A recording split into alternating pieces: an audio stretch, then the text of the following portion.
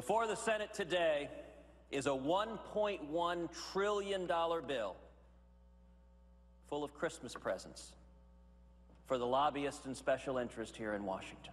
Now, we're watching as Congress passes yet another provision that was written by lobbyists for the biggest recipient of bailout money in the history of this country. All right, welcome to Gimme Five. So, Ted Cruz doesn't like it.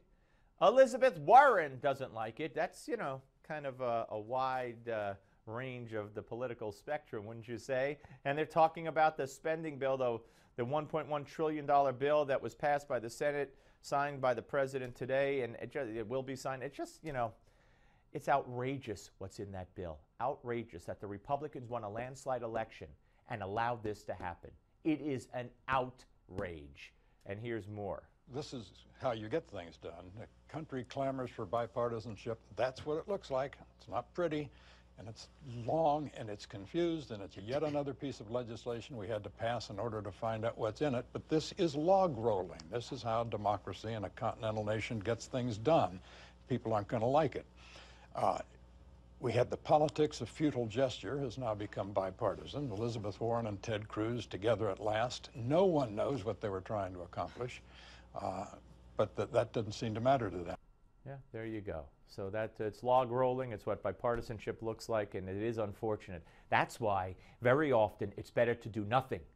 Like doctors, first we shall do no harm. Hippocratic oath. Okay. Um, and according to and Boehner, I guess, took the Hippocratic oath. Here's more. I do think that this will change substantially. When you get the new Congress here, lame ducks who've already been repudiated leave, and you get the Republicans in charge, and we're going to see if they can implement the restoration of what they call regular order. So we don't run this government with sprawling pieces of legislation like this. Yeah, well, good luck to you. Um, you know who else isn't happy? One Nancy Pelosi. Remember her? Yeah, she doesn't remember John Gruber. Uh, who? Who? What? Who? Um, she doesn't remember being briefed on the uh, CIA en- uh, enhanced interrogation techniques. What? Who? Me? But um, she could talk about this.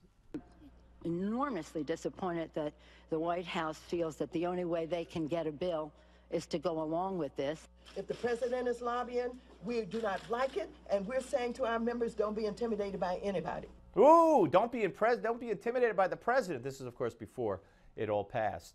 Don't be intimidated by the president. Hmm, that could be racist if she wasn't black. I don't know how, but I'm sure if a Republican said that, it would be racist. So just, you know, making sure there's consistency here. Anyway, more analysis from the Fox News Sunday panel. I think you had two things going on here. One is that Nancy Pelosi wanted to be clear that she cannot be taken for granted. There had been an expectation all week that this legislation was going to pass in the House with Democratic votes, and this was her saying to the White House and to Harry Reid, you know, you can't just cut me out of negotiations and expect my members to line up behind this. Second, we're just entering a new phase in the relationship between Obama and Democrats. These splits within the party have existed throughout his presidency. It's just that they've been papered over to some degree because the political interests of the White House and Democrats on the Hill have aligned. That's no longer going to be the case all the time here. For Obama, he's going to have an interest in trying to strike some deals with Republicans, and a lot of Democrats are not wanting not going to want to give Republicans an opportunity to look like they can govern. Yeah. All right, Julie Pace weighing in. And here's one more Michael Needham uh, For most Americans out there, wages are stagnant. The price of housing is going up. The price of food is going up. Gas, how are you going to send your kid to college? And Washington, D.C. doesn't care. And they put forth one of the worst pieces of legislation, a $1.1 trillion spending bill that has a carve out for Blue Cross Blue Shield, has a carve out for Wall Street, reauthorizes something called the Overseas Private Investment Corporation, which provides taxpayer backed loans so that the Four Seasons Hotel can build a resort in Turkey. I think they can pay for that on their own. And that's what's going on. Yeah, and worse. And a whole lot worse.